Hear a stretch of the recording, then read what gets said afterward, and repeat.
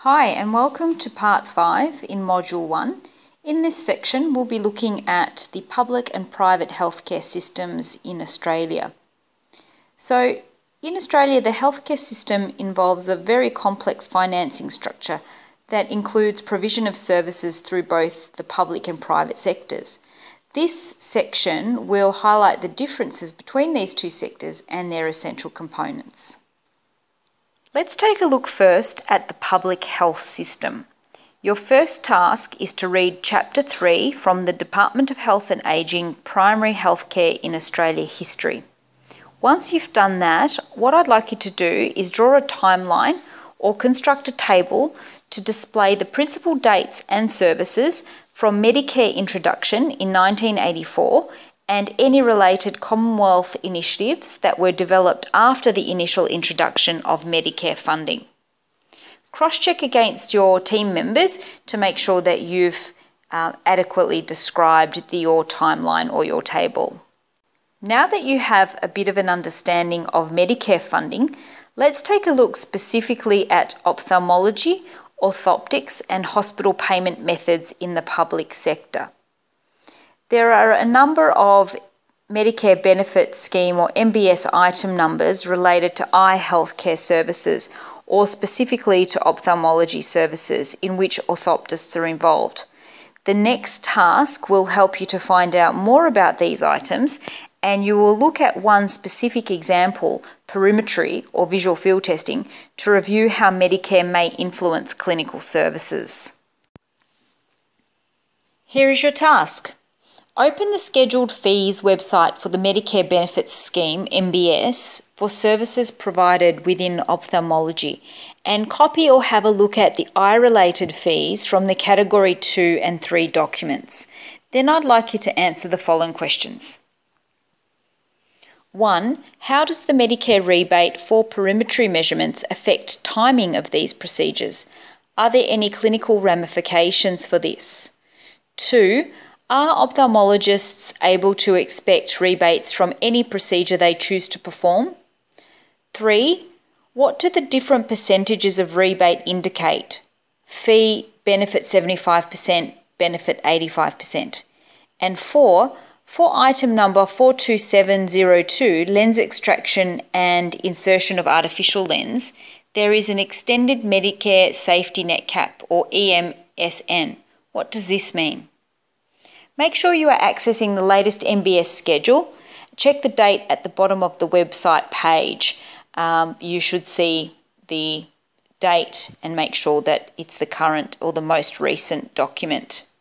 Also, check in with the rest of your team to compare your responses. Let's have a look now at orthoptic services. As allied health practitioners, orthoptists may charge a fee for service.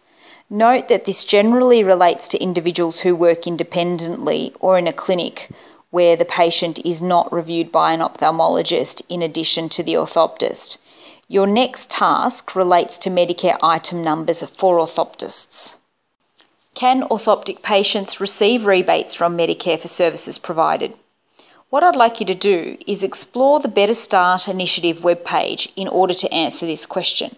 Work with your teammates and on this slide, the link for the Better Start Initiative website is shown, but you'll also be able to access it from LMS. Let's now consider hospital payment models and the orthoptist. Hospitals account for approximately 40% of Australia's health expenditure, and there is considerable policy focus on how hospitals are funded. Services provided by hospitals are generally funded on the basis of what they do, their activity, and the model of which can vary from state to state. In Victoria, specifically, we utilise a systematic approach for patients receiving outpatient services called the Victorian Ambulatory Classification System, or VACS and a number of different classification systems for other activities, for example, emergency consultations, surgery, and so on.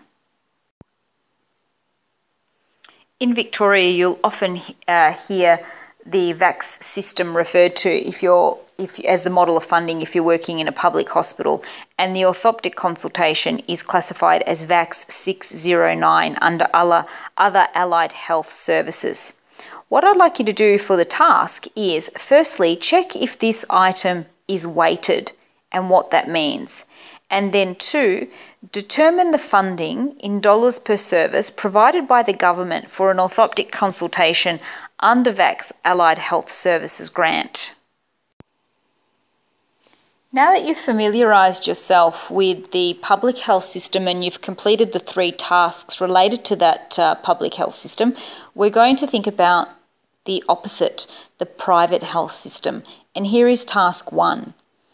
Health insurance provides Australians with additional funding for their choice of healthcare provision, in addition to the public health system. It is a choice made to enable people to have greater flexibility for their decisions of when, where, and by whom their hospital and medical services will be delivered. What I'd like you to do is consider these questions related to the private healthcare system. One, what are the advantages and disadvantages of choosing to invest in health insurance? Two, how might privately insured patients influence demands on public hospitals? And three, according to Duckett and Willcox, the Rudd government was unable to remove some of the incentives for rebates to people who chose to invest in private health insurance. How could a change in the rebate offered affect the number of people choosing to invest in private health insurance?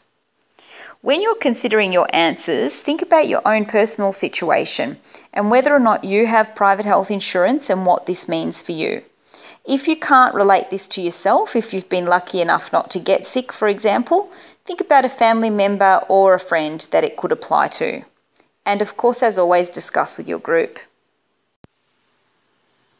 Now that you've started to consider the private health system, I have a second task for you. What I'd like you to do is read the newspaper article by Dunlevy, which is entitled Private Health Means Test Approved File from the Australian. The questions related to this article are How could this legislative change affect people's decision to invest in private health insurance? What influence could this have on demands for public hospital services? And two, this legislation has been secured by an agreement with the Greens Party with a pledge to invest $165 million in public dental care. How will this additional funding influence equity for public dental services? And your final task, task three for this section, uh, is that I'd like you to check the Medibank web website in order to answer this question. Hint, don't just look at the first list you come across, read further down the page. Now the question is, can orthoptic patients receive rebates from private health insurers for services provided? You might at some point want to start up your own orthoptic practice, specialising in treating amblyopia or strabismus or seeing patients for low vision consultations. Understanding the health system is essential groundwork for this. In the next and final section for Module 1, we will be discussing healthcare reform.